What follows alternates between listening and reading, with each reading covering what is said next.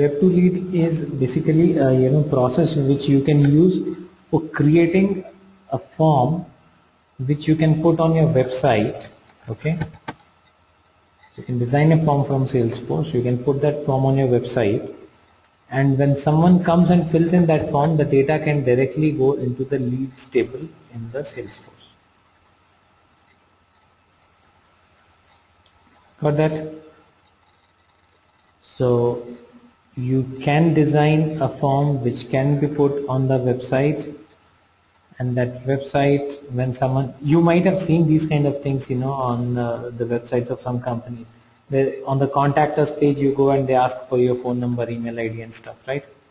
And they say someone will contact you. So usually what happens with a website uh, the form that you fill that uh, thing actually goes into the backend SQL Server database so most of the times these websites are connected to the SQL Server database which is uh, in the backend. Alright. So all that information that you enter there that goes into that SQL Server database. Now because Salesforce uh, you know uh, will have all the leads ultimately into it so Salesforce has introduced an option where you can simply uh, have a Salesforce uh, Salesforce designed form on the website. And when someone comes and fills in that form that information can directly pass on to your uh, the leads object. All right? So how do we work with that? Let's go and see that. It's a simple option. Just need to go to setup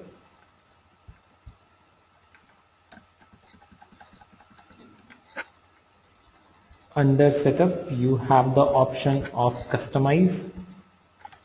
Under customize you have leads.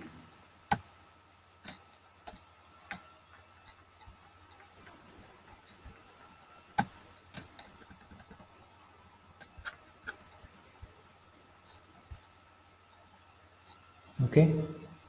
And uh, under leads you have this thing called web2 lead right?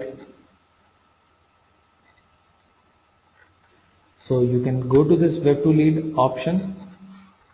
Uh, you will have that option of create a web to lead form. I told you you can create a form. So you can straight away go and create this form here. Now you will be asked which all fields you want on the form.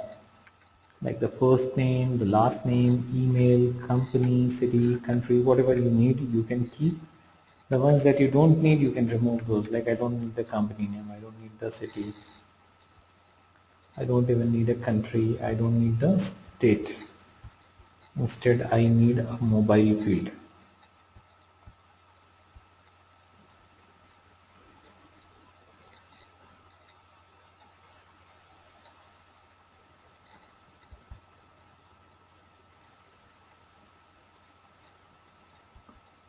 Okay.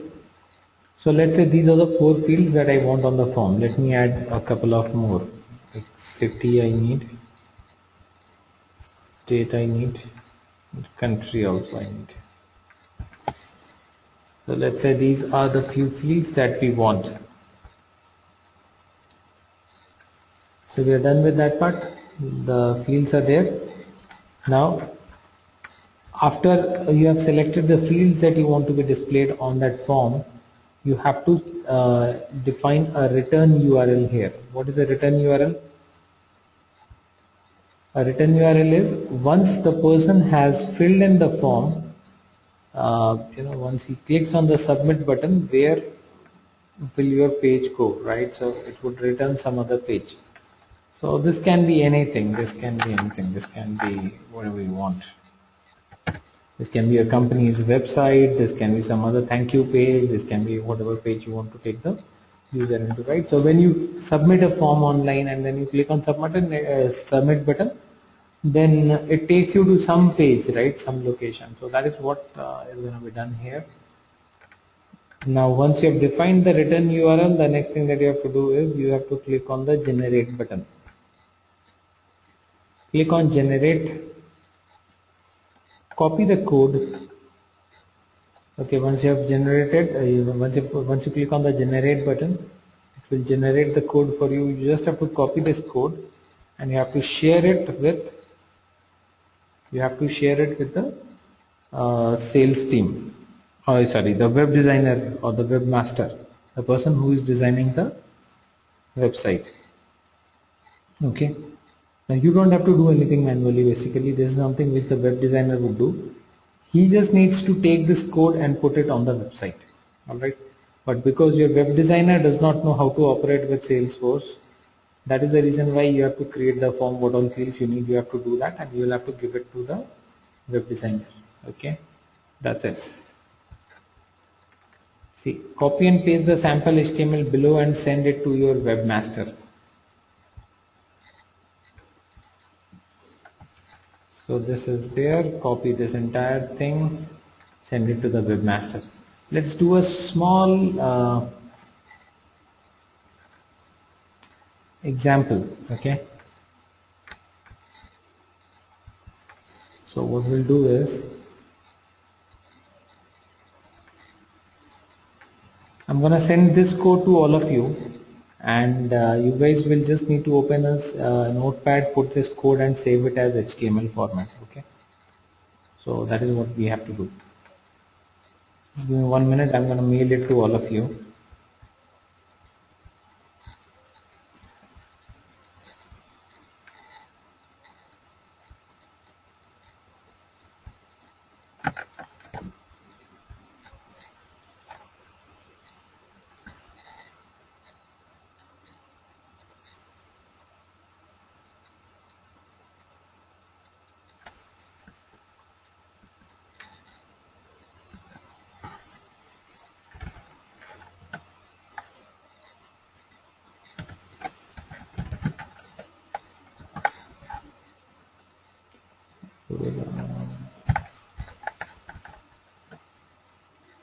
then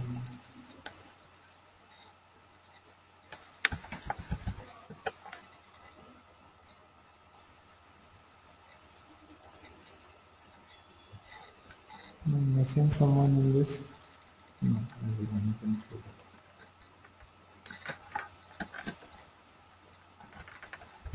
your team lead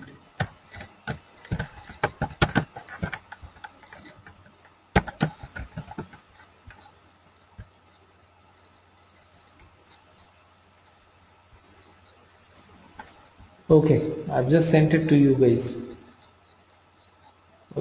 okay I just want you to do a small activity. Copy that code open a notepad okay and save that in .html format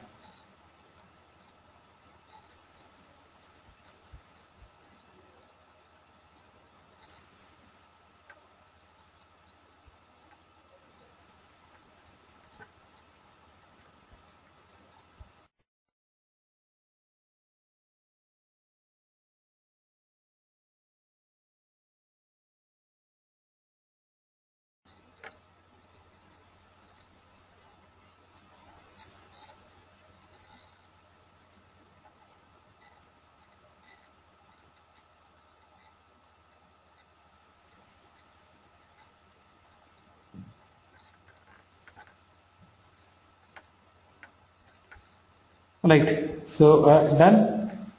Open a notepad paste the code save the notepad as .html format.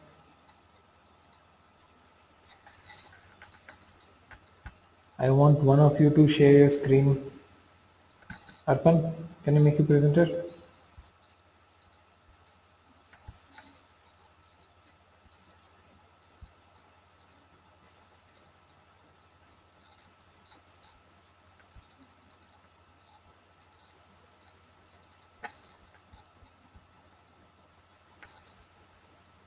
you can my screen?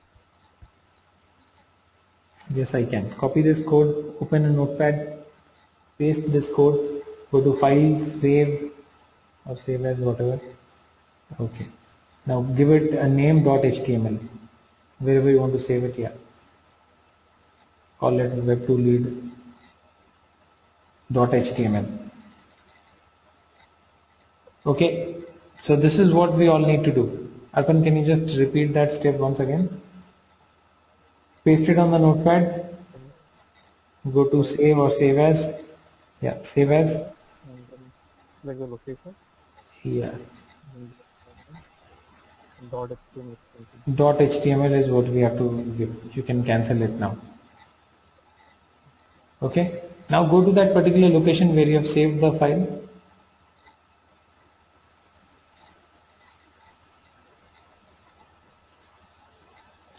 open that file you will see it opens as an html file right in the as a form. Okay so you know uh, the alignment and all these stuff is something which your webmaster will take care of. But this is how the form is gonna be right? Now if you use this form to make any entry that will directly get into the uh, onto my salesforce leads table so Arpan try to make an entry make any entry yeah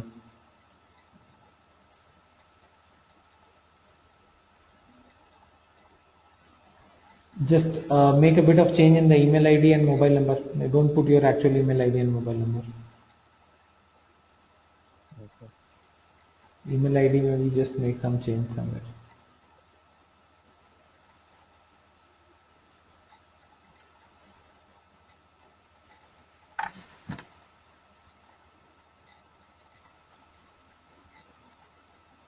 I think it will, by default it will take, uh, It's not by default. It's uh, something that uh, you know uh, we have defined. The list of states and uh, countries is what we have defined. So based on that, it's taking. Submit.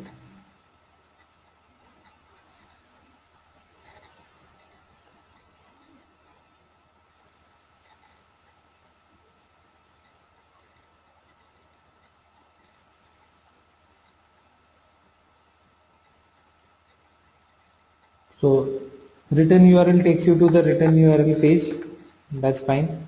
But let's now check whether the data got actually created in my developer edition or not. So for that what we have to do? For that I just have to go and click on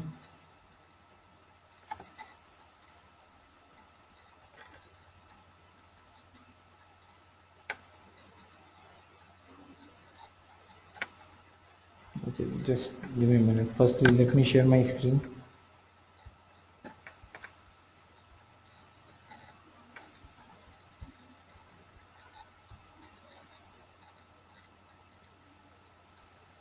So we just made an entry on that, right? And that was from a different computer. Now that data should have got into my leads table. Let me go and check if that has actually come to the leads table.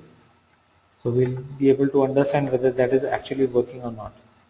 So I go to today's leads and click on go.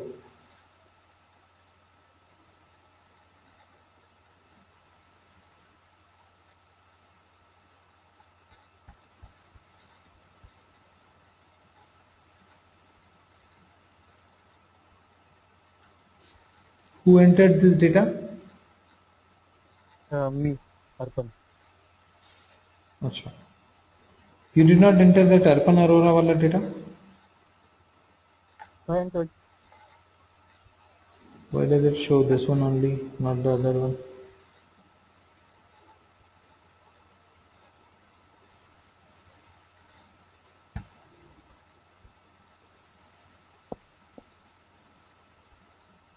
Did you change the name? At the, no. Instead of Arpan Arora, did you put some other name? no, I put Arpan Arora only. This one Ah, sorry.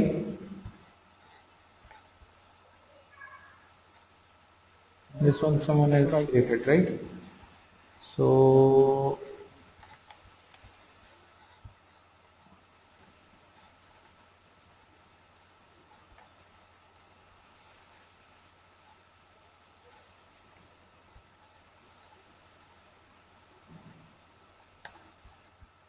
So Arpan Arora did not get created for some reason. Can you just try it once again, Arpan? For sure. Let's see what's the problem there. Uh, there's something which Samvit created that got created.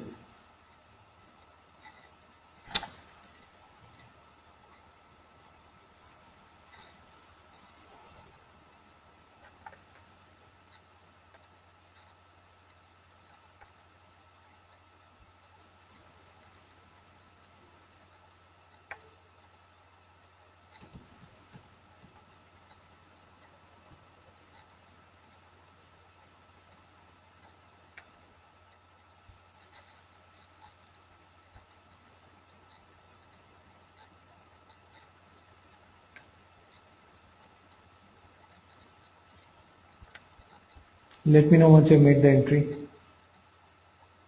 Yeah.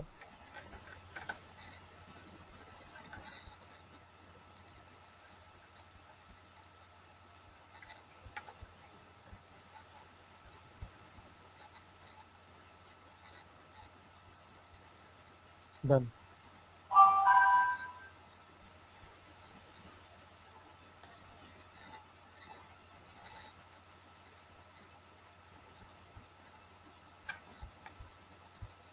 Then we can again redirect it to the same uh, sales factor. Yeah, now it has got created, see?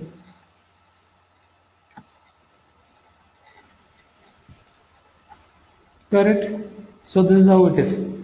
So uh, this web to lead is a very useful thing because most of the companies who are uh, you know using Salesforce, most of them will have a website and uh, this is something which will make life a lot more easier for these people in terms of you know uh, providing a form from where the end users can easily uh, enter the data into the system.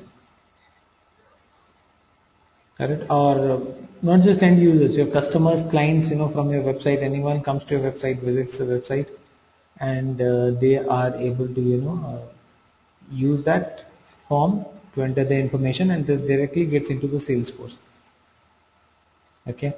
So usually what is the process? Usually the process is that, as I told you, uh, the website is connected to a backend SQL Server database and this data goes into the SQL Server database. And uh, once this uh, thing goes into the SQL Server database, after that, um, you know, someone extracts it and then puts it in the, into the CRM thing.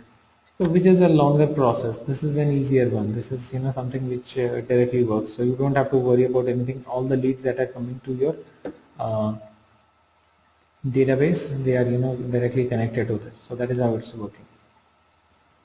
All right. Clear on this? Please let me know if anyone has any questions or doubts. Okay. So that's one thing. Now the second thing that we're going to talk about is the next thing that we're going to talk is web2 case So the way we have web2 lead is similar uh, way we have a web2 case option. So this option is available only for two objects, one for leads and the other for cases. So you can have a similar web2 case form aware, you know, uh, for on your website using which your customers can raise a case, ticket or complaint, whatever you call it, right? So cases table, we have an option called web2 case available, okay? So it's same, I mean there is no difference. I just want you to see where exactly you find the web2 case option and uh, there's no difference between this and that one actually. So where will you find this thing? You will find it in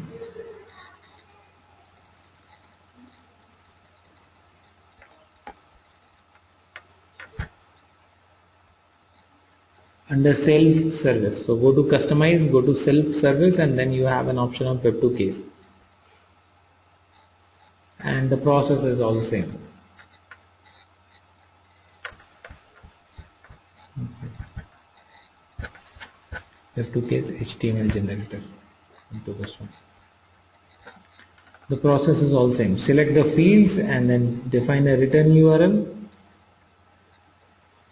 and then generate. That's it. So again you can have uh, this form populated on the website so that anyone who wants to raise a case does not have to call the call center and all. They can directly raise a case uh, from your website all right please let me know if we have any questions or doubts here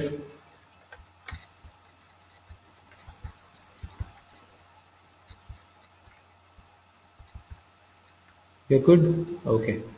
Nice.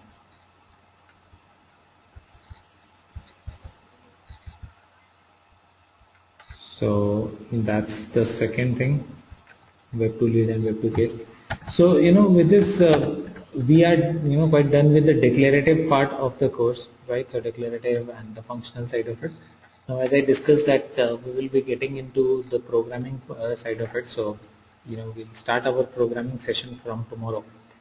So today I don't think we have any more topic to discuss. I would just want to quickly you know talk about a few uh, points here. Okay, one is some of you might want to go for a certification. So as we know that there is a Dev 401 certification and there's a Dev 501 certification. Okay, so what we start talking uh, tomorrow is Dev 501. What we have talked so far is Dev 401 certification okay so dev 401 certification which is the basics uh, basic developer certification or it's also called developer essentials this uh, that is more of what we have discussed so far okay so in 401 certification you do not have any programming whatsoever. Okay? So and this is the first certification that you have to do. You cannot go and do a 501 directly without clearing 401 alright so a 401 certification is what is required first of all. So I think some of you will be going for a 401 certification. So I just want to give you some hint or idea on what a 401 certification is and how you can prepare for it and all. So first thing that you should do for Dev 401 certification is download the study guide.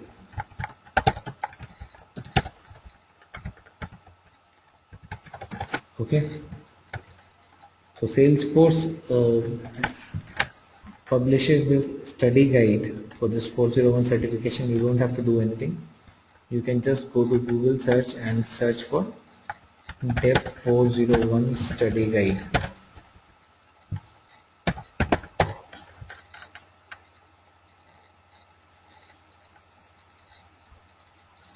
You will find it okay? The PDF that you find this is the study guide. So first thing you should have the study guide available with you.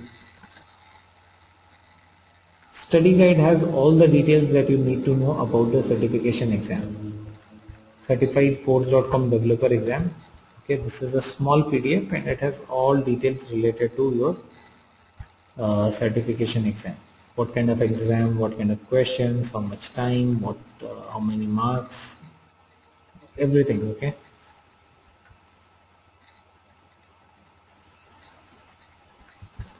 So you will have 60 multiple choice, multiple uh, select questions.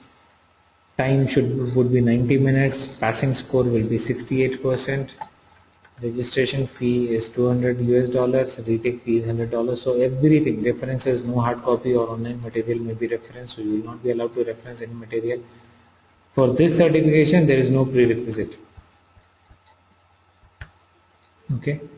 Now the most important part that I want you to you know understand here is uh, use this document for understanding the exam outline.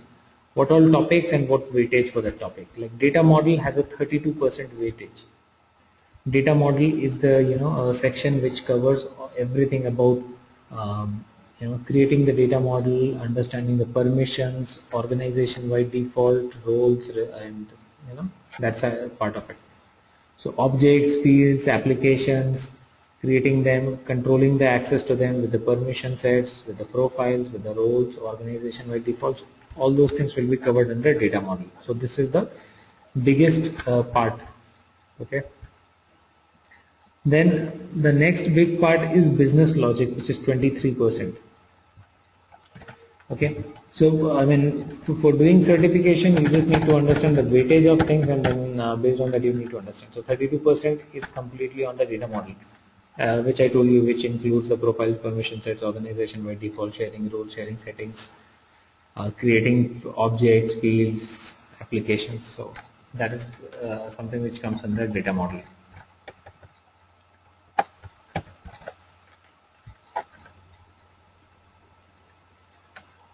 business logic is 23%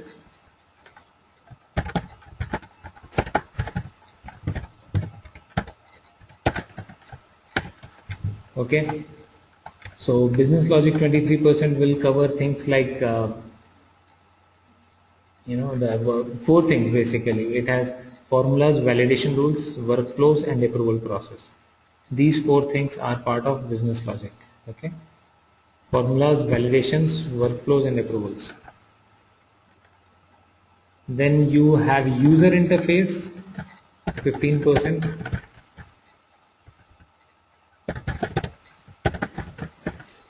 so user interface includes things like page layouts and stuff. Data management is 10% so this is easy to clear because data management there are not too many things for you to know.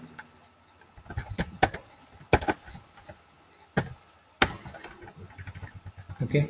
So data management is 10% reports uh, is 10% I guess. Reporting is 10% reporting is 10% so we are at 55 70 80 90 and then 5% for application design and concepts.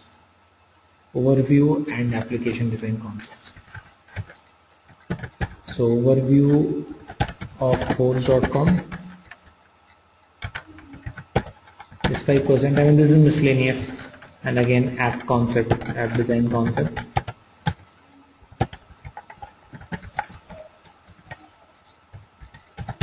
It's 5% so there is not much that you can do about these two things. I mean whatever you understand that's more or less uh, you know it. So you don't have to worry about this part but uh, this seems to be a good section reporting because in reporting I have uh, you know told you there are not too many things or it's not something which is very complex. It's an easy score zone. Reporting I don't think you should have any problem scoring in the entire you know all the questions correct. There is not much there. Data management is an easy score zone uh, where you can score easily. Okay. Business logic is one more easy score area where you can score the entire thing. Okay now data model is again out of 32% you can you know score maximum of them correctly. So this is one area where you have to have be you know solid with your concepts of profiles and all that stuff, right? Business uh, data model is one area where they will have concept based questions. So you know you will be tested on the concepts that if this is the requirement. So you know case based questions can be there. So this is where you have a good scope of you know uh, answering and you know get uh, scoring but uh, you have to be a little careful there. User interface is again you know not uh, you know something which is easy. It does not have too many things right? So 15% for the user interface. So you have to be a little careful with the data modeling because that is the biggest section and uh, the questions there can be a little tricky. Um, for data management for reporting they, they are going to be straightforward questions. So you know that is how it is and for business logic again it's going to be straightforward questions right? So you have to you know understand you know um, which all the areas are uh, you know good for you which all are your strong areas where you can score easily and you know try and score as much as possible uh, in those areas. All right. Tell me if you have any questions on this. And now for you to prepare uh, you know on the certification part if anyone you know plans to prepare for the certification the best resource for studying which is available. Now you know the syllabus right? Now where do you read from? Okay because certification requires you to read a bit of theory as well. First thing you should be solid or you know very very sound in the concepts. That is one thing but if you want to read more uh, on the theory part because some questions can be very very objective. So uh, for those kind of questions what you can do is you can always use the Salesforce help. Okay? This is the best place to read for uh, you know, uh, Salesforce related concepts. I'll show you where exactly you have to go for example, you uh, wish to uh, learn more about validation rules. Okay. The best place for you to learn more about validation rules is you can go to any particular object, go to validation rules. I mean, just go to the validation rules page. You can go there from any object and then click on help for this page. So this help for this page button is something which will take you to the details of the validation rules.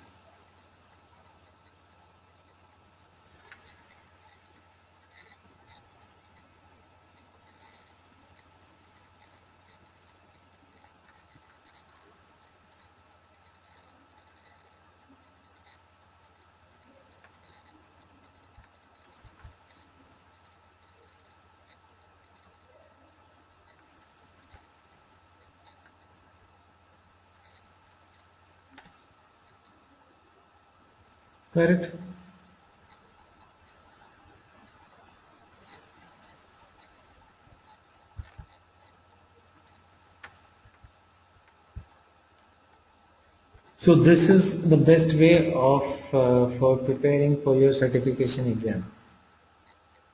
Tell me if anyone has any questions on this. So that's more on the certification side I mean I do not know how many of you are willing to do that uh, now or later or whenever.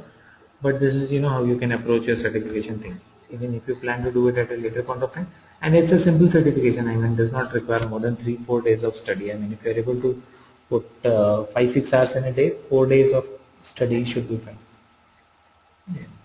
otherwise you know maybe eight to ten days if you're not able to give that much time two three hours if you're putting eight to ten days should be fine you know? so that is how it is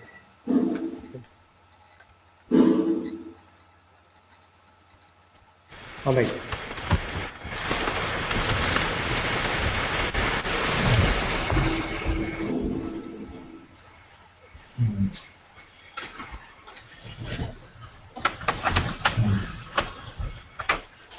So, um, any questions on this or anything else? Can I have the microphone on mute, please? Thank you. Okay. So, uh, any questions on this or uh, anything else? Uh, anyone? Any doubts, questions, anything that you want to ask? So, we are good uh, with these concepts, right, so far?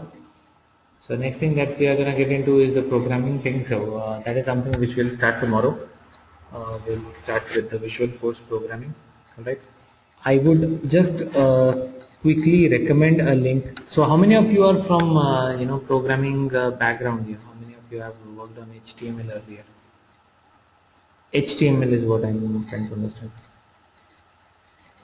Because we'll start our uh, first programming language which is Visualforce and uh, that's quite similar to HTML.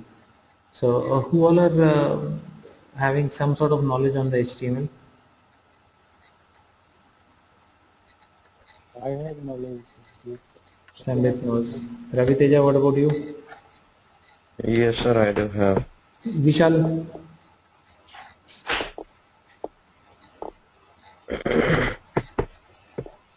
Okay, great, nice. So we just know basic HTML, uh, all of us, that's fine, no problem. So, uh, you know, we are gonna start uh, with Visualforce, which is pretty similar to HTML. So, and then we will move into the Apex part, which is similar to Java. All right. So uh, that's it. I think uh, if we do not have any other questions or doubts, I think we are uh, quite okay for today. Tomorrow we are going to meet same time, same link, and uh, we'll start with the Visualforce. Uh, he just uh, upload this video. No?